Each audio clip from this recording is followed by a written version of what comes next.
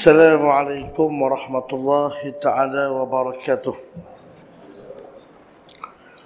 أعوذ بالله السميع العليم من الشيطان الرجيم بسم الله الرحمن الرحيم Tuan-tuan, muslimin muslimat, hadirin yang dirahmati Allah sekalian.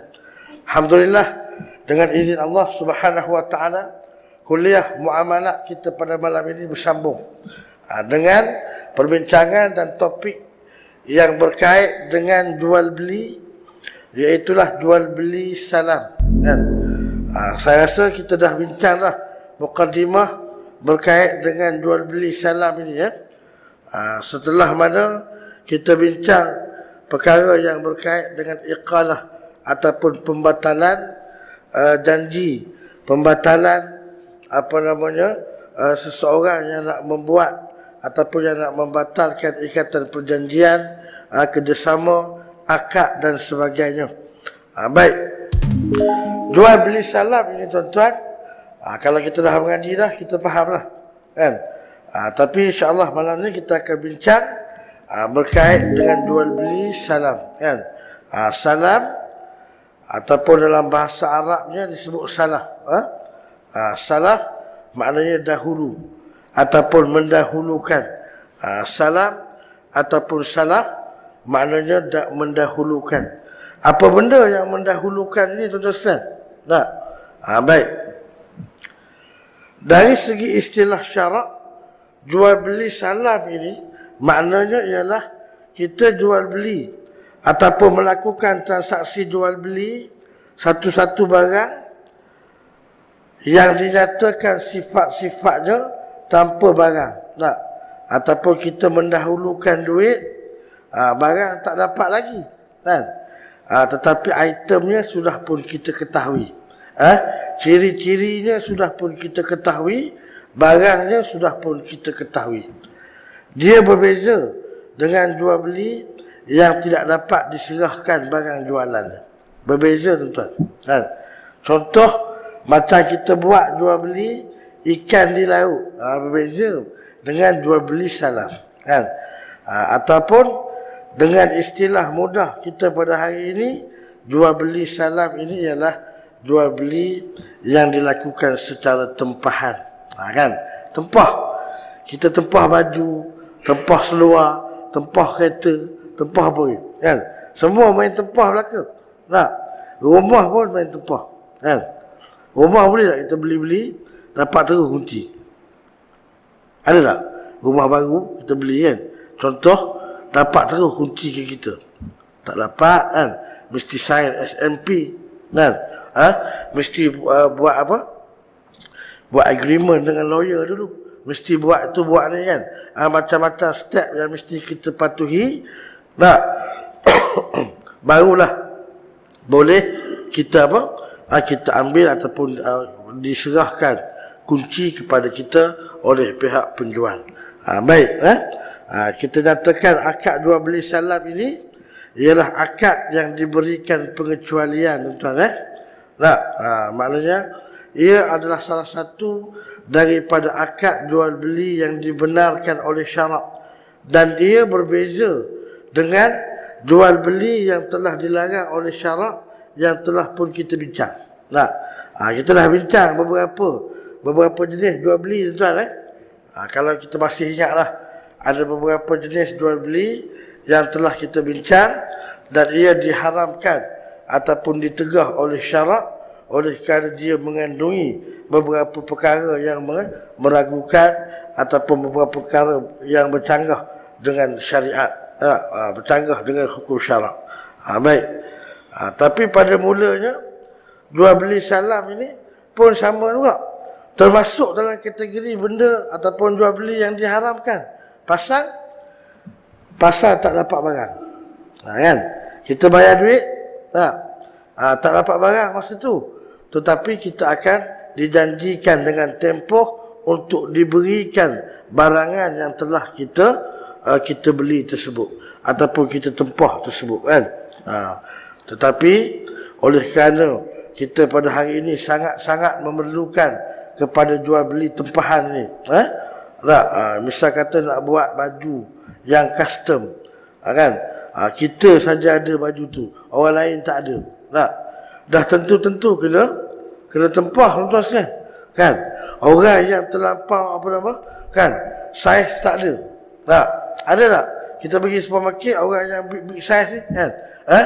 Tiba-tiba saiz tak ada di pasaran. Ada tak tuan-tuan? Tak. Tapak kaki besar. tak. Jenis tapak kaki besar. Saiz 13. Tak. Ada tak? Di, di apa? Di kedai-kedai kasut saiz 13. Jarang ada. Kan? Eh? Memandangkan kita faktor apa? Faktor kita ni. Tak. Orang orang uh, orang Asia ni kan. Bukannya besar sangat kaki-kaki. Tak. Ha, kalau pergi belah orang putih sana. Kan? Eh? Ha, mungkin boleh jumpa lah. Tak? Di kedai-kedai dan sebagainya.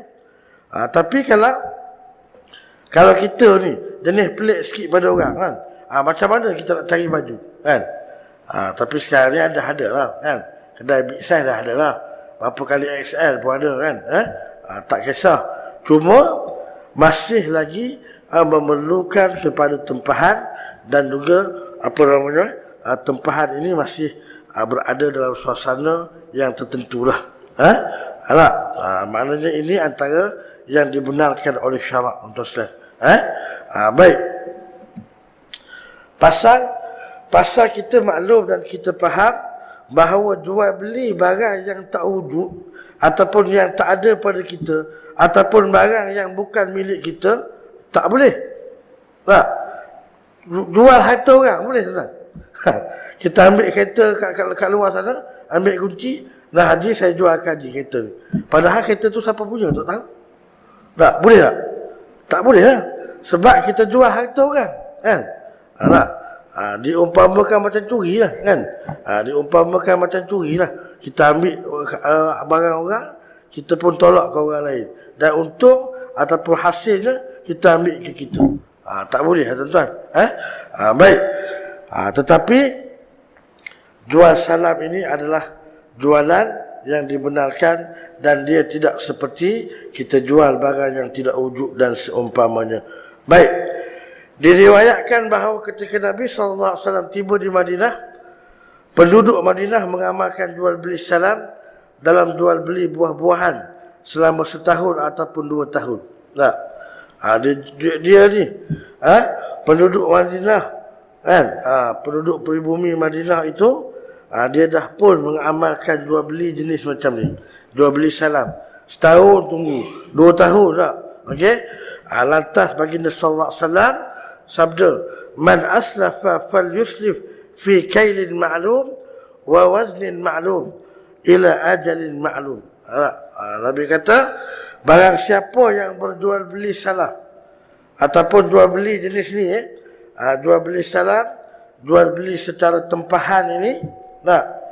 ha, maka hendaklah dia berjual beli dengan sukatan yang dimaklumi tak ha, waznin maklum dengan sukatan yang dimaklumi kemudian timbangan yang dimaklumi dan tempoh yang dimaklumi. Ha, tak? kita maklum. Okey sekarang ni saya nak tempah. Ataupun nak beli salam. Ha? nak jual beli salam. Ha, contoh macam apa? Ha, kurma kan? Buah tabar sekian-sekian berapa berat? Tak berapa ratus kilo? Berapa ratus guni? Kan? Ha? Ha nak ambil dalam tempoh 6 bulan lagi ataupun setahun lagi ajalin maklum.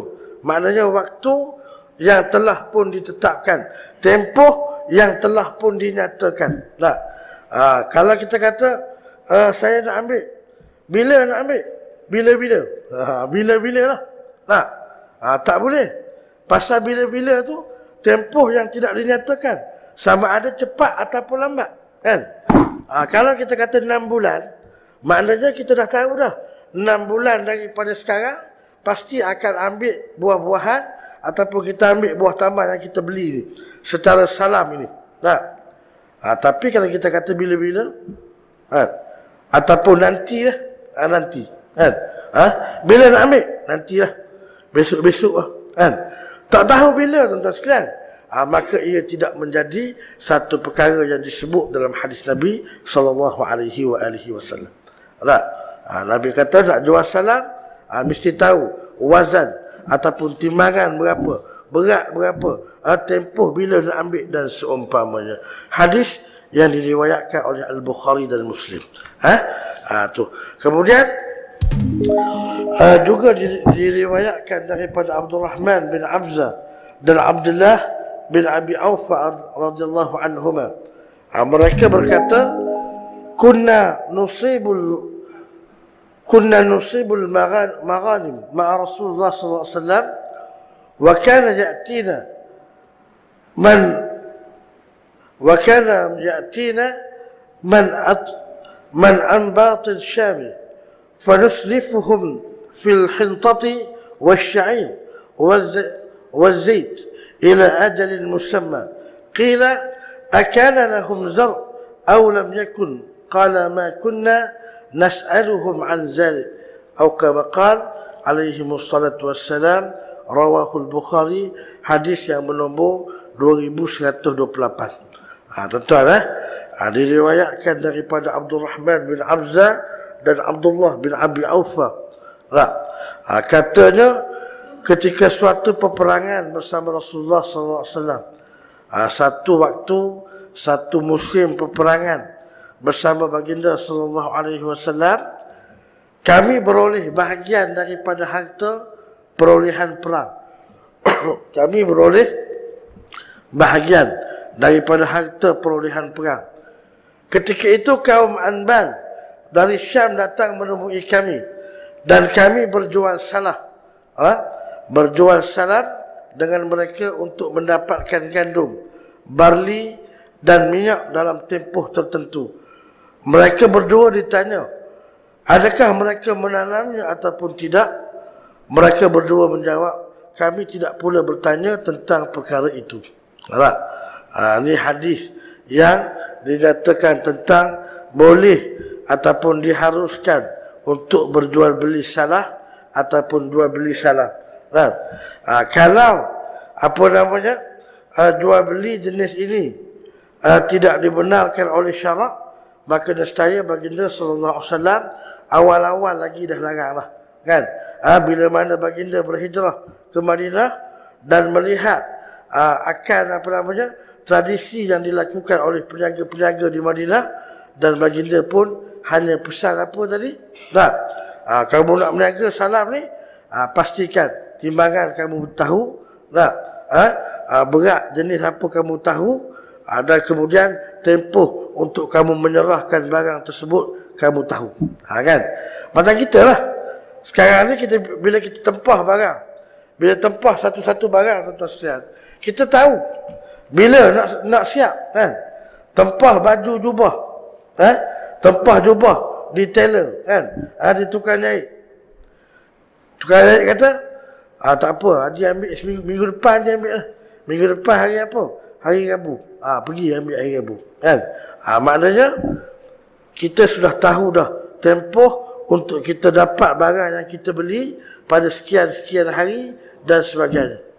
Tiba-tiba terlewat. Nah, tiba-tiba terlewat daripada yang sepatutnya. Kan? Ha, maka ha, itu adalah atas budi bicara penjual ataupun tukang jahit dengan pembeli dan sebagainya lah. Ha, ha, mengikut akad dan lain-lain. Ha, tapi orang ataupun orang kata apa tukang jahit. Orang yang menjual dia punya apa? Ha, kan? Kait baju dia tadi ha, mesti memaklumkan kepada tuan yang empunya akan kelewatan dan juga sebarang perubahan tarikh nak ambil dan sebagainya agar tidak berlaku zalim dan lain-lain. Eh? Ha, baik. Kemudian diriwayatkan daripada Ibnu Abbas radhiyallahu anhu katanya aku bersaksi bahawa Allah Subhanahu wa taala telah menghalalkan jual beli. Eh? Uh, telah menghalalkan jual beli salah yang dijamin.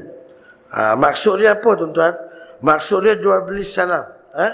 Yang sudah pun terjamin. Cuma uh, serahan barang itu dibuat kemudian eh? Uh, serahan barang itu dibuat kemudian oleh kerana barang itu tak ada lagi kan? Uh, kita beli kain kan? Lepas tu kita pergi jahit baju. Jahit baju ni boleh ke sehari? Tak? Boleh tak sehari jahit baju siap? Boleh. Tapi teruk lah jahitan ni. Kan? Ha. boleh buat tapi tapi teruk kan. Ha, kadang-kadang ada juga ha? ada lah. Yang jenis-jenis macam tu ada. Tapi di tempat kita ni macam tak ada lah. Kan? Ha, tempat-tempat lain ada. Kan? Ha, pergi Indonesia, pergi Vietnam, pergi mana-mana. Ha, mungkin boleh buat. Kan? Pagi hantar, malam ambil. Kan? Boleh? Ha? Ha, kan? Ha, tuan pergi tempah baju kat sana. Murah pun murah. Cepat pun cepat. Kan? Ha, tinggal tinggal lagi puas hati dengan tak puas hati lah. Kan?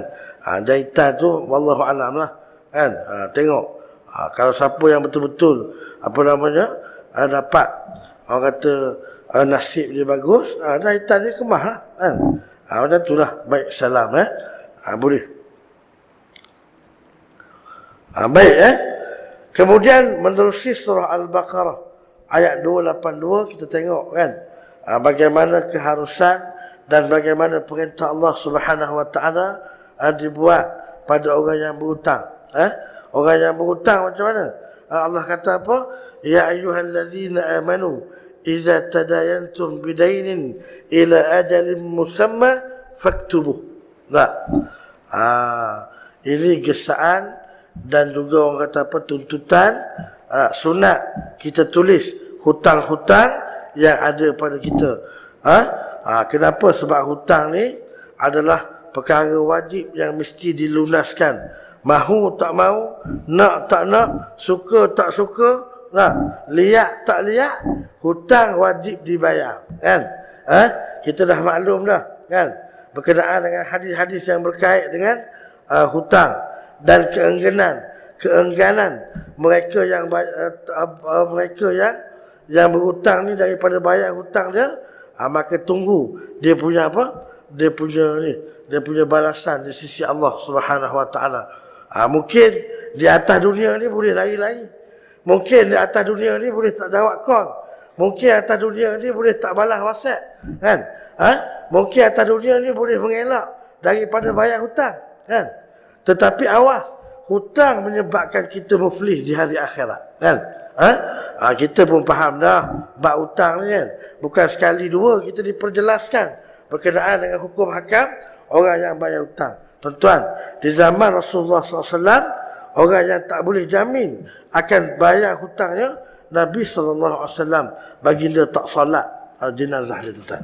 Ha, apa? Kan? Ha? Baginda tak salat jenazah orang yang sedang berhutang ini tuan-tuan.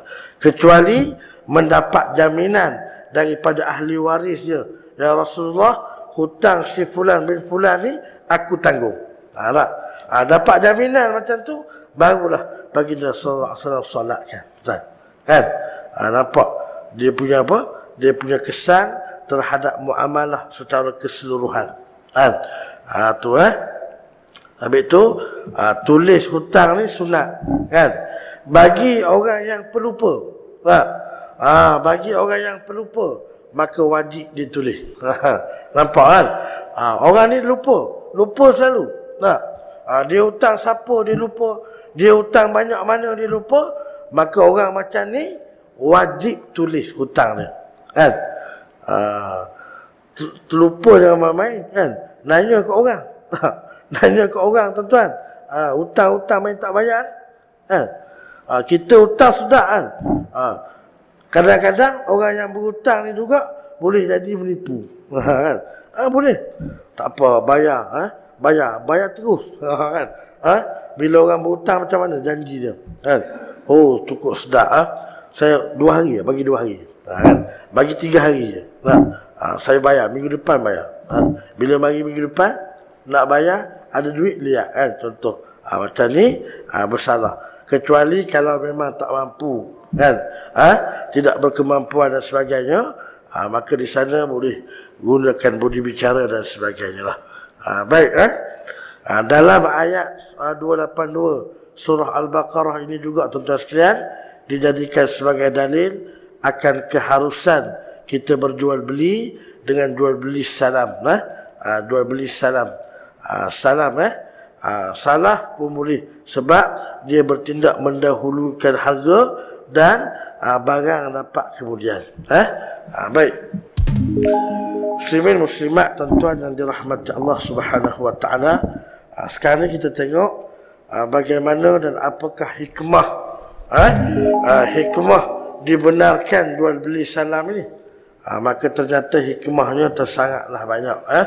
antaranya sebagaimana yang telah dijelaskan dari segi kias eh, jual beli salam ini tidak sah menurut syarak kerana ia membabitkan barangan yang tidak wujud dan tidak ada penjual. Kan? Eh? ha, namun demikian ha, jual beli salam ini adalah sah. Kan? Ha, pada asasnya ha, macam mana tu? Tidak sah ke tak, tak sah? Ha, macam ni. Pada asalnya tak sah sebab dia membabitkan barang yang tak ada. Betul eh? barang pada pembeli penjual ada tak masa tu? Tak ada tuan. Kan? Kita tempah uh, benda yang tak ada. Kan? Display ada tak display? Uh, display unit ada tak display unit? Contoh macam kita kita tempah kereta lah. Kereta baru. Tak tuan kereta baru duk tukang buat tu. Masa masa launching siap sebutir tu je. Kan? Bukannya ada apa? Bukan siap banyak betul uh, dia akan buat based on apa? Based on demand lah kan? Supply and demand kan kata kan? Uh, based on demand. Uh, yang tu. Tak katalah kita beli kereta apa? MyV 2018 tu Ustaz kan? Ha? kereta MyV 2018 masa launching tu sebutir je ada atas showroom tu. Nah bukan banyak pun ada. Nah ha, tapi tengah buat lah. Komponen-komponen semua ada lah orang kata. Tengah buat kita pun tempah nah kita tengok buka pintu kan. Masuk duduk pergi mari pergi mari. Buka bonet depan buka bonet belakang dan sebagainya. Tiba-tiba berasa berkenal kan berasa berkenan. Tak ha, kita pun tempah bayar. Bayar duit tempah berapa? Seribu booking eh? Booking fees seribu. Tak bayar. Harga katalah 40 kan? Ha, tinggal 30 lagi loan tak ha? ha, kita kata uh, ni tapi kita bayar booking fees tak lepas tu kita pun balik kan kita pun bah balik kan Ha, bila kita balik tuan-tuan sekalian, kita bawa balik kereta, tak bawa balik, bawa balik angan-angan dulu. Ha, kan? Ha, tak kereta tak bawa balik lagi. Bawa balik angan-angan, oh, sedap kereta ni, tak lagi, kan? Ha?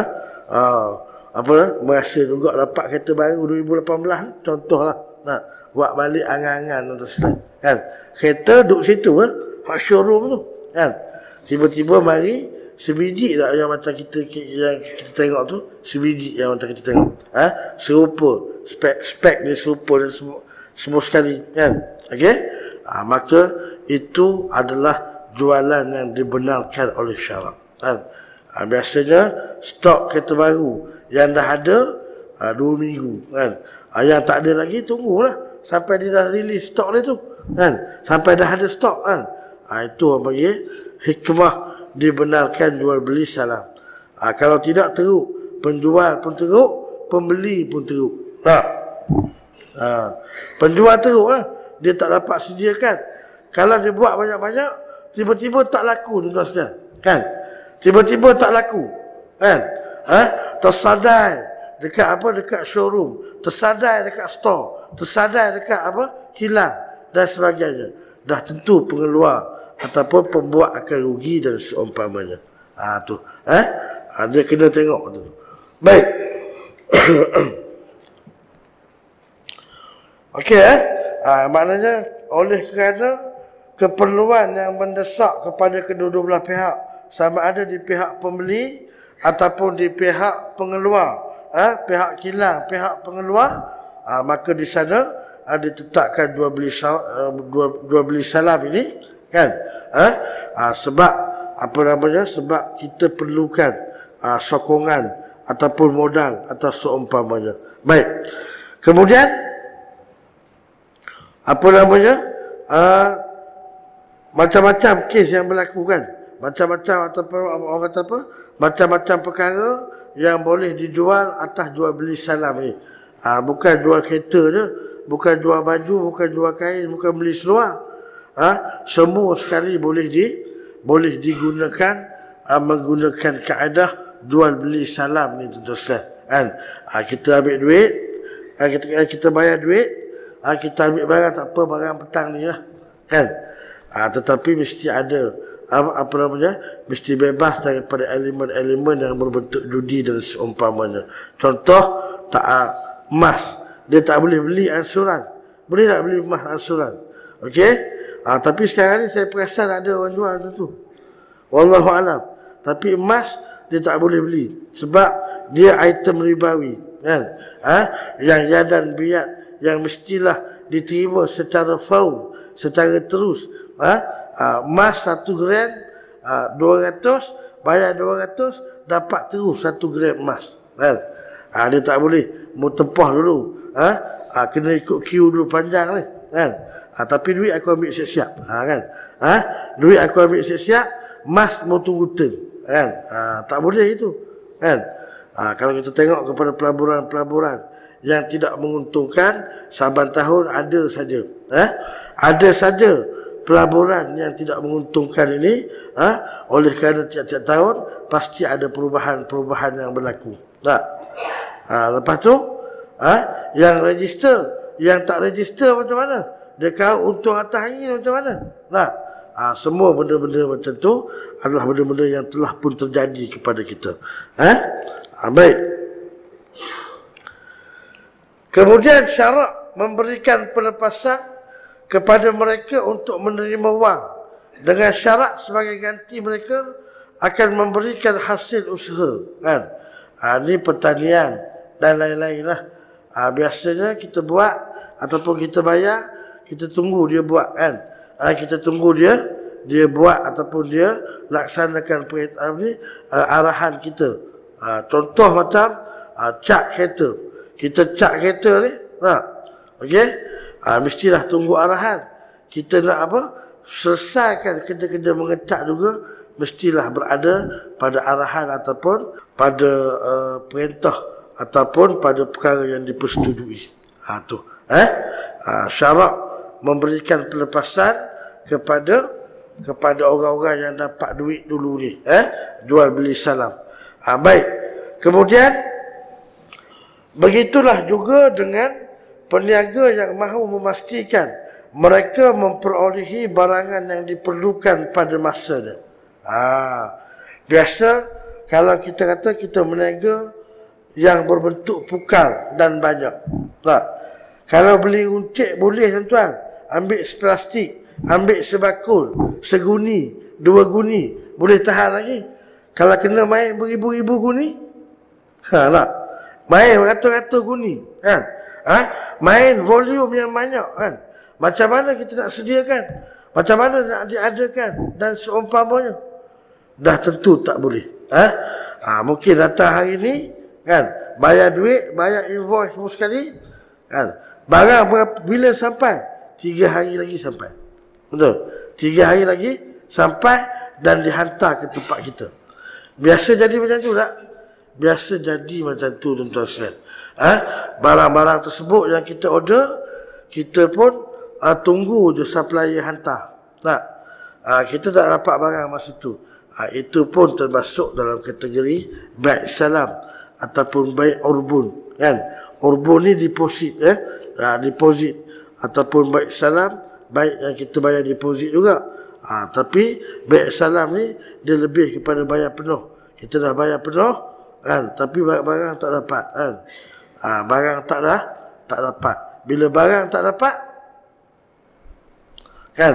Ha, sudah tentulah ia menjadi satu perkara yang bercanggah dengan suruhan ataupun hukum syarak. Baik kemudian kita dapat memahami tuan-tuan sekalian. Daripada sini kita dapat faham bahawa persyariatan jual beli salam ini memberi pelbagai manfaat yang besar kepada manusia nak-nak lagi di zaman kita pada hari ini. Eh? Ha, di zaman kita pada hari ini orang ambil tempahan ha, macam-macam. Eh? Banyak. Ha, maknanya kita tak boleh nak mendahulukan diri kita sendiri. Sedangkan orang yang hantar tempahan sebelum kita pun tak dapat lagi. Contoh kan? Eh? Pergi kedai apa? Pergi kedai jahit. Ha, ni kain, ni ukuran saya. Saya saya apa? Ha, yang penting saya nak dulu. Kan? Eh? Orang lain punya orang lain punya tempahan uh, punya pasar kat dia. Contoh kan uh, tak boleh kita menyuruh orang yang sedemikian melainkan kita ha, melainkan kita apa? Melainkan kita kita memahami akan situasi yang dihadapinya. Ha? Ha, baik. Kemudian ha, bila kita sebut jual beli tuan-tuan maka sudah pastilah ia mempunyai rukun dan syarat yang tertentu. Ha? Ha, rukun dan syarat jual beli jenis ini eh? Jual beli salam. Ha, baik. Ada empat rukun jual beli ataupun jual beli salam ini kan? Ha, yang mesti kita bincang. Yang pertama ialah apa? Pihak yang mengikat akad tersebut kan? Ha, pihak. Pihak-pihak yang mengikat akad tersebut yang kedua sirah ataupun lafaz jual beli ha, lafaz akad. Ha, kemudian apa lagi ya ha, modal yang dibayar dan barang yang ditempah ha, ada empat kan? Yang pertama ialah pihak-pihak yang berakad ha? ha, berasa macam nak beli salam lah. ha, berasa berkenan lah. apa namanya? Ha, kereta kau yang kat luar tu. Ha, berasa berkenan lah dengan jam tangan kau yang kau pakai sekarang ha, maknanya permulaannya ialah apa namanya ha, kita kita ni kita sembang kita bincang ha, dan kita bertanya dan jika ada orang yang berniat nak menjualnya maka terus kita pergi ke situ dan beli. Tak? Ha, okay? Ataupun kita tempah dan lain-lain lah. Ha, baik. Okey ya. Ha, maknanya penjual ni tak kira lah. Sama ada dia ambil upah uh, jahit baju ke, dia ambil upah apa nama, kait kelapa ke, dia ambil upah apa-apa sekalipun, penjual dan juga pengilang ataupun pengeluar ha, maknanya ha, adalah orang yang hampir sama. Kan? Ha, orang yang sama lah. Ha, pasal apa? Pasal ha, dia nak jual barang tak ada. Tapi dia memang jual. Dia jual apa? Jual bakat dia. Kan? Ha, jual bakat dia tuan-tuan. Ha, bakat dia menjahit dan di baju semua sekali. Ha, kita pun beli. Tak? Ha, kita pun beli dia punya rates ataupun dia punya harga Ha, kemudian kita boleh pandu bawa balik ke rumah. Ataupun kita boleh tunggang bawa balik ke rumah. Kalau sekiranya ha, motor ataupun basikal dan sebagainya. Eh? Ha, baik. Ha, sirah macam biasa lah. Sirah akad jual beli ni macam biasa. Eh? Ha, memadai kalau kita kata aku jual, aku beli pun tak apa dah. Eh? Ha, tapi malangnya tuan-tuan sekalian, ramai dari kalangan kita yang tidak endahkan. Tak? ha, berkenaan dengan perkara ini ha, berkenaan dengan ha, persoalan ijab ha, apa nama persoalan ijab dan kabul dari sudut apa namanya ha, dari sudut ha, baik, baik salam ha? Ha, baik macam itulah juga sirah ijab dan kabul ha, maknanya penawaran ha, dan juga permintaan ha, ada kan ha, maknanya uh, ada penawaran dan ada perminta, uh, permintaan dari sudut itulah. Uh, baik. Rukun yang kedua sirah akad kan. Sirah akad ni maknanya persetujuan yang berdasarkan kepada penerimaan uh, akad ataupun tuntutan tersebut kan. Uh, saya terimalah. Uh, saya dahulukan. Uh, saya bagi deposit. Uh, kan. Uh, harga seribu setengah bagi deposit lima ratus barang tak dapat lagi lebih waktu bagi barang. Ha, kan? Ha, okay? Ini yang biasa terjadi kepada kita. Ha, kadang-kadang kita apa kita bayar deposit tak banyak pun. Tak booking saja. Kan? Ataupun ha, kita letaklah berapa-berapa yang kita nak. Kan? Ha, biasanya ha, pihak apa namanya pihak satu lagi ataupun pihak penjual ni dia tidak meletakkan syarat ha, mestilah ha, kena bayar lamsam ha, sekaligus baru boleh dapat barang pada hari yang telah dijanjikan dan sebagainya. Sebab masa hari yang dijanjikan kita bawa balik ataupun kita ambil barang tersebut dan ha, kita bayar barang tersebut. Ha, tak boleh buat tangguh lagi. Ha? Ha, tak boleh buat tangguh lagi. Baik.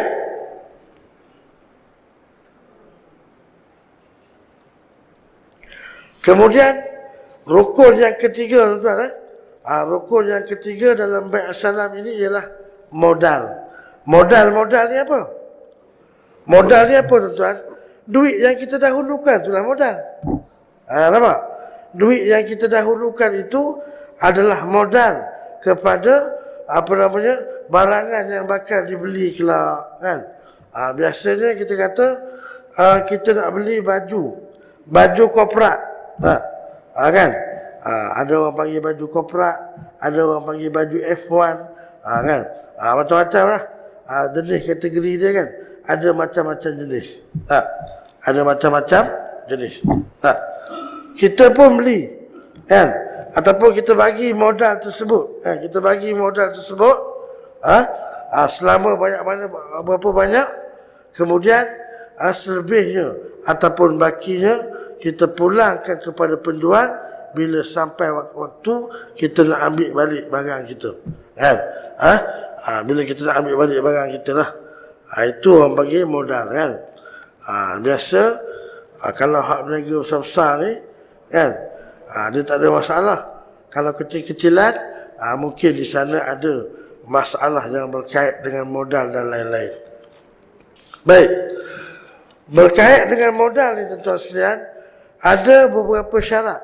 Dalam kitab ini dinyatakan dua syarat yang berkait dengan modal. Kan? Ha, tak boleh main bagi ikut suka kita. Kan? Tak boleh kita apa? Ha, maknanya kita tak bagi langsung modal. Ha, modal ada dua. Yang pertama ialah jumlah dan bentuk pembayaran hendaklah dimaklumi oleh kedua-dua belah pihak. Ha? ha? jumlah dan bentuk pembayaran. Ha, jumlah dia tak kira berapa. Tapi jumlah itu mesti diketahui. Ha? Ha, nak ambil lah. Duit dalam poket entah berapa ada. Ha, itulah modal dia. Itulah dia punya uh, tengkeram dia. Ha, itulah deposit dia. Kan? Ha, cek cek poket ada tiga ringgit. Ha, tiga ringgit eh.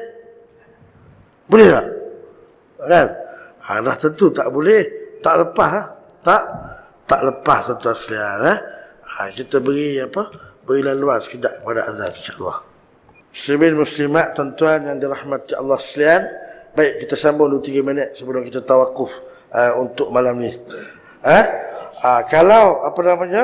Baik salam kan? Syarat-syarat ataupun rukun yang telah dinyatakan ha, yang ketiganya modal ha, dan modal ni maknanya deposit yang kita kita apa kita berikan kepada kepada penjual ha? Ha, dan dia ada dua syarat dinyatakan oleh musannif ha, rahimahullah dia kata yang pertama jumlah dan bentuk pembayaran hendaklah dimaklumi oleh kedua-dua pihak bermakna ha, kita maklum berapa nak bagi. Eh? Contoh, kita kata bayaran yang kita buat seribu ringgit ataupun dua ribu ringgit. Jika bayaran yang dibuat menggunakan barangan yang boleh disukat, ha, maka sukatlah ha, mengikut timbangan. Ha, yang tadi dalam bentuk duit, tak? Ha, kalau dalam bentuk barang pula kita nak bayar macam mana? Kan? Ha, mungkin kita boleh buat tukaran barang dengan barang kan? Ada juga orang berniaga jenis macam tu. Tak? Ha, tapi kita kita kena nyatakan. Eh?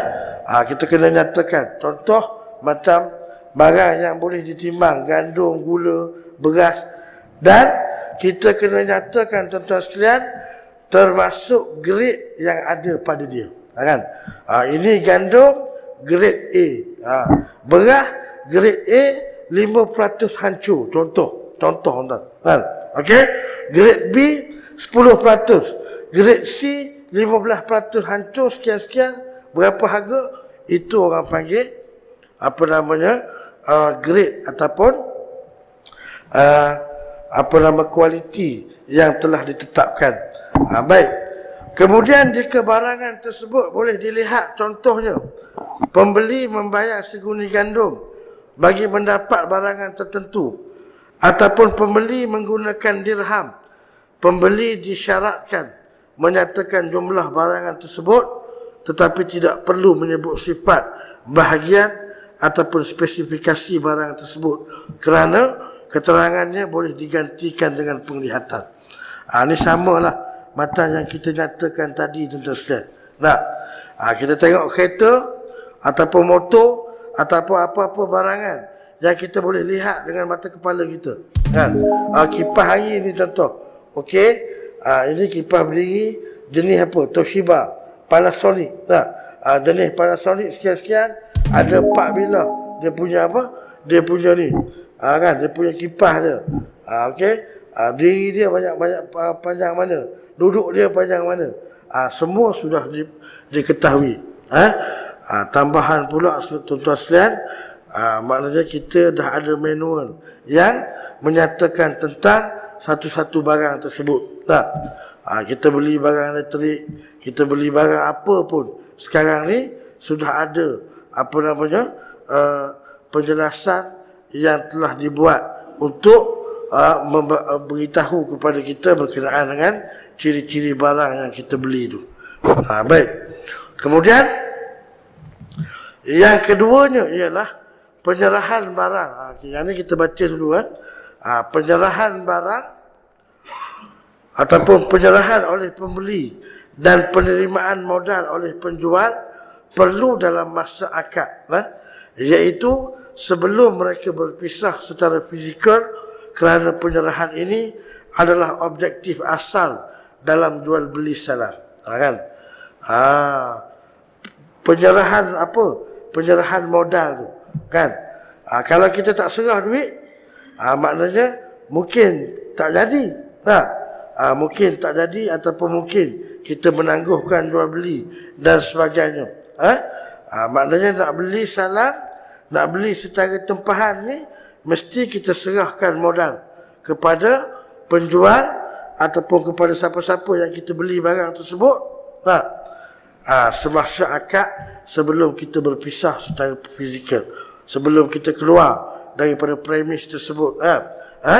Ha, kerana penyerahan ini adalah objektif yang asal dalam jual beli salam tuan-tuan muslimin muslimat yang dirahmati Allah sekalian ada ha, mungkin ada yang kurang jelas berkenaan dengan apa ni penerangan jual beli salam ini secara kesimpulannya ialah jual beli salam adalah jual beli tempahan yang kita amalkan pada masa sekarang ni.